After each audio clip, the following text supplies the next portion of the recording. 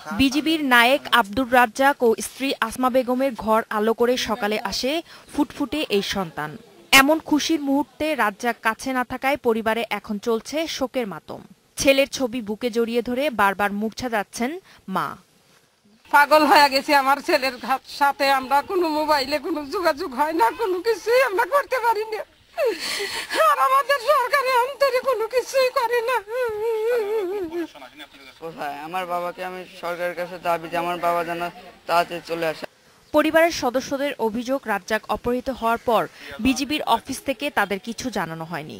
বিভিন্ন মিডিয়া ও সামাজিক যোগাযোগ মাধ্যম ফেসবুক থেকে জানতে পারেন তারা।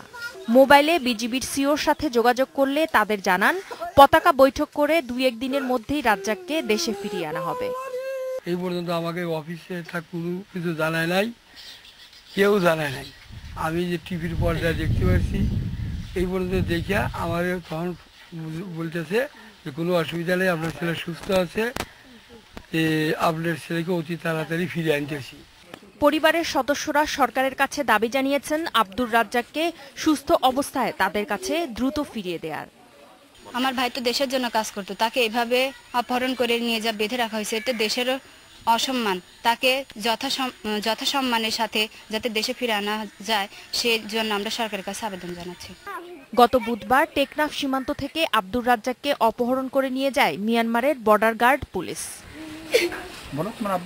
Sultana Khan independent news.